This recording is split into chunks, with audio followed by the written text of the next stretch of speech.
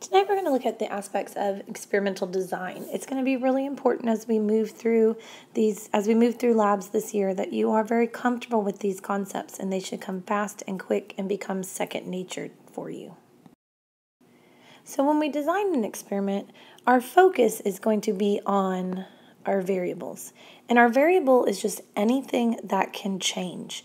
And when we're designing an experiment, we basically have two variables that we're focused on our independent variable and our dependent variable. So our independent variable and our dependent variable are kind of our um, big things when we're designing an experiment. These are the two things that are both able, again, to change. Constants are going to be our things that stay the same and they never change. Our control group will be our normal or our comparison group. Our experimental group will be the ones that are receiving the independent variable, and our retreat, repeated trials are just the fact that we are going to repeat the experiment um, more than once. We're going to do multiple times. Okay, so let's look at each parts of an experiment, each of these six parts of the experiment. So our independent variable is the one that you are changing. You are changing it on purpose. You may have um, heard it referred to as the manipulated a independent or manipulated variable, but this is the one that are you are changing on purpose. It's the cause, it's the reason, it's why um, why the change would happen. Let's say we were doing an experiment about the growth of plants if it was related to what um, you watered the plants with. Well, our independent variable would be what we are watering the plants with. Okay, and that would be our independent variable because we can change that. We can manipulate that. We can say we're going to water it with juice, we're going to water it with coffee, we're going to water it with milk. Or we could say we're going to water it with tea and we're going to water it with Gatorade. Okay, but those are our choices as the person doing the experiment. And when we go to create our hypothesis, that will be the beginning part of our hypothesis. If I do this, if I change what I'm going to water the plant with, then I think this will happen. And when we are building our graphs, this independent variable goes on the x axis, okay, which is on the bottom right here, right? So this independent variable always goes on our x axis when we're building a graph of our data from our experiment. The dependent variable, again, it's a variable, so it is also changing, but your dependent variable is the one that responds. Okay? It's basically think of it as the one that you are measuring. If I'm doing this experiment about the um, about what I water the plants with and if that affects plant growth, then my dependent variable here would be the growth of the plant. Okay? And whatever units I'm going to measure that in, the growth of the plant in centimeters. That would be my dependent variable. It's the then part of my hypothesis. If I change the substances that I'm going to water a plant with, if I water a plant with something other than plain water, then this is what I think will happen. Then I think it will grow taller. Okay, and so I that's my dependent variable. When I'm drawing a graph, my dependent variable is always here on my y-axis. Okay, so my dependent variable is on my y, my independence on the x. To help you remember that, you can use the mnemonic dry mix, okay, which is our dependent, sometimes called the responding variable, the one that responds to the stimulus, right? Dependent or responding variable, that's a Y. That was a terrible Y.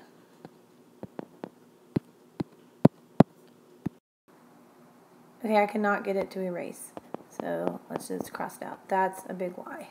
So our dependent or responding variable is on the y-axis, which means our manipulated, we're going to go sideways here, manipulated or independent variable is on the x-axis. Okay, so that can help you remember that. Dry mix, dependent responding on the y, manipulated or independent on the x-axis. Your constants are all the things in the experiment that you are keeping the same, that you are not changing. Okay, you should have a huge list of constants when you are um, designing your experiment. At minimum, you need to be giving at least three when you are asked for constants. In the example that we've been talking about with watering a plant with different substances, our constants would be things like the amount of liquid. We have to give them all the same amount, whether it's Gatorade, juice, milk, whatever, it has to all be the same amount. Uh, let's see, the type of plant would be a constant. The temperature, the sun exposure, the, um, let's see, how long between waterings, uh, the amount of fertilizer, the type of soil, all of those things would need to remain constant. Okay? What you need to be what you need to make sure you get sorted out in your head is constant versus control. Constant with the S there is the same, they don't change. Okay, but our constant is different than the control.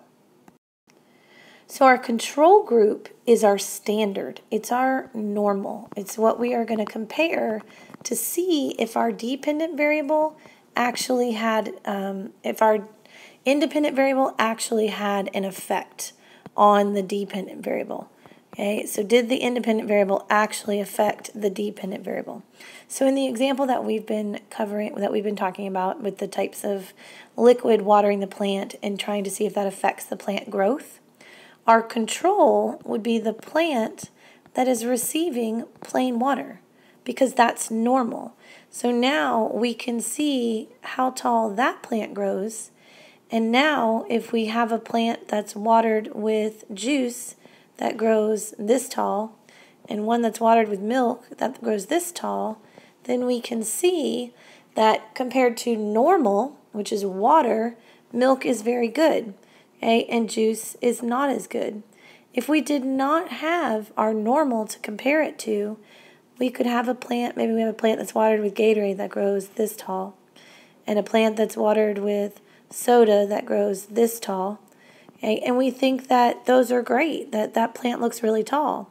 But then we finally do water a plant with water and it grows like off the charts tall.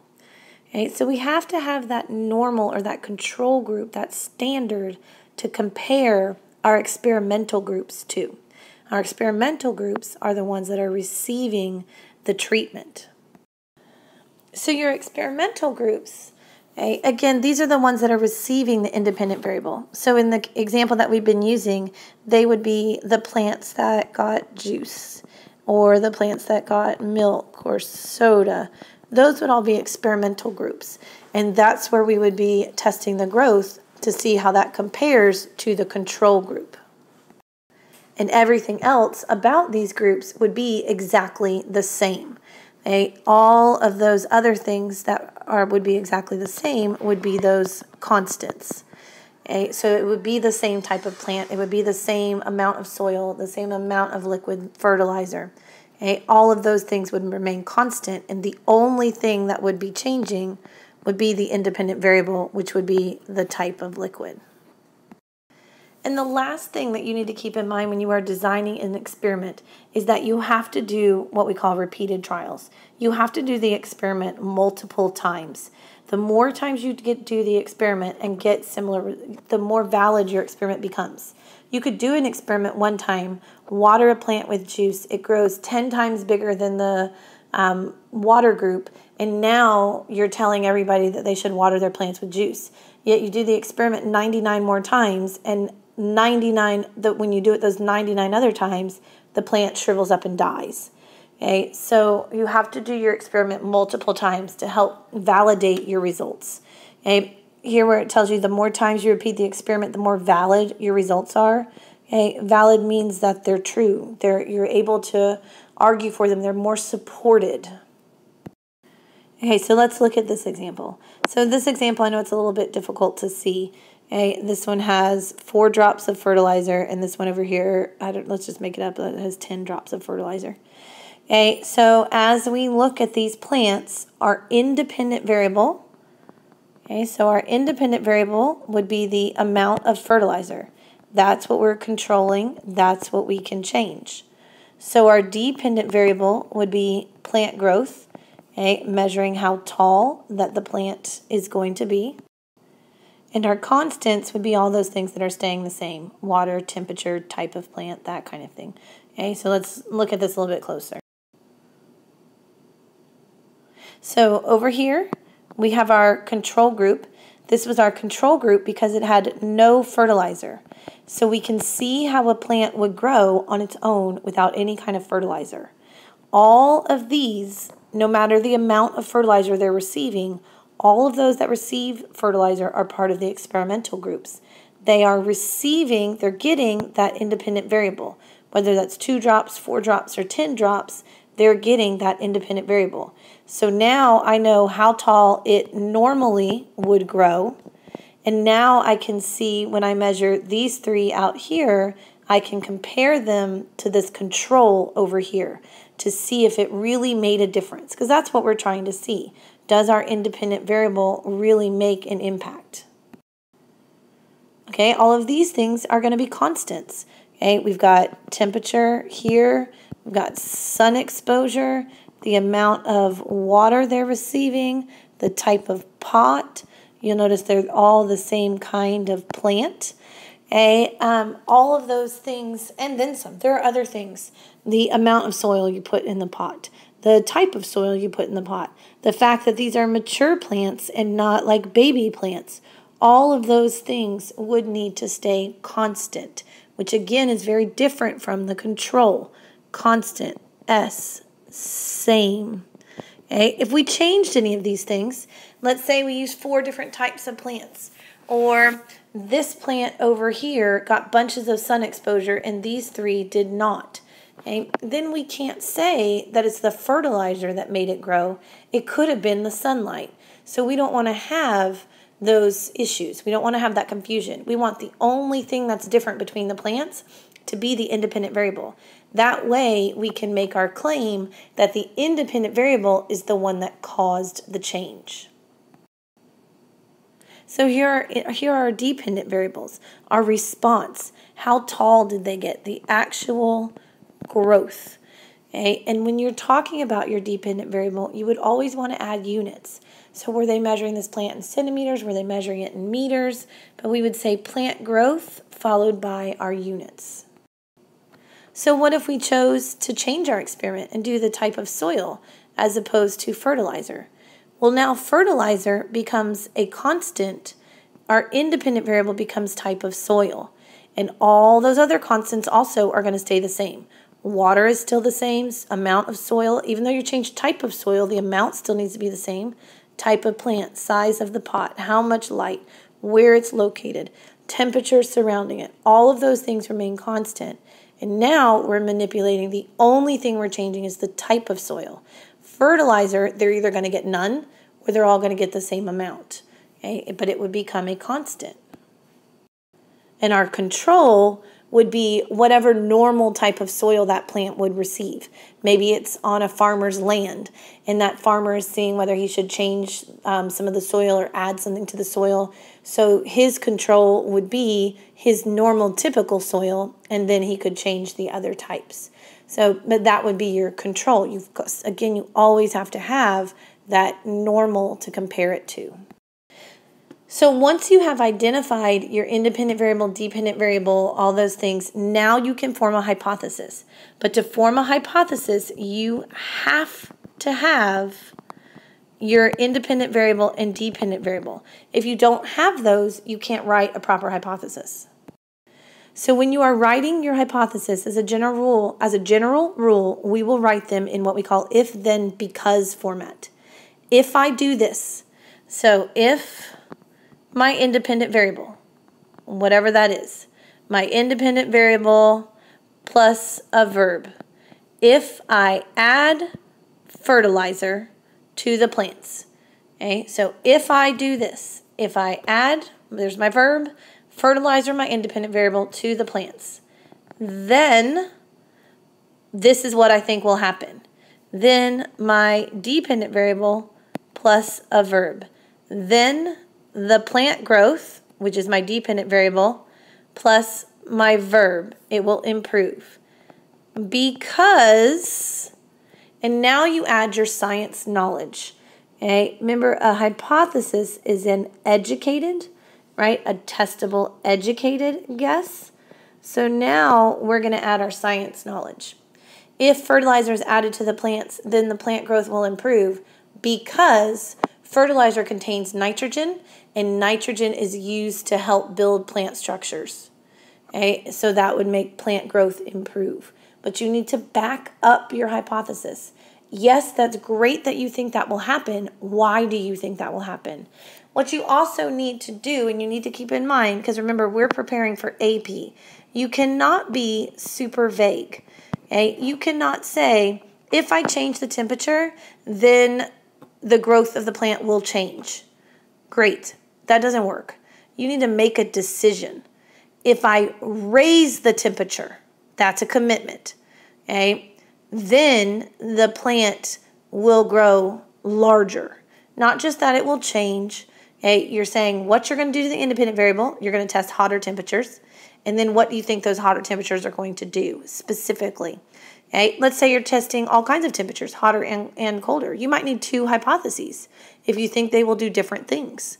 Okay, so you need to keep that in mind. You cannot be super, super vague. Is it okay for your hypothesis to be wrong? Okay, absolutely. That is totally okay to have a wrong hypothesis, especially if you've backed it up with your science knowledge. If you have valid science thinking behind why you think this will happen, it is totally okay for it to be wrong. Okay? And your conclusion later will then take care of that.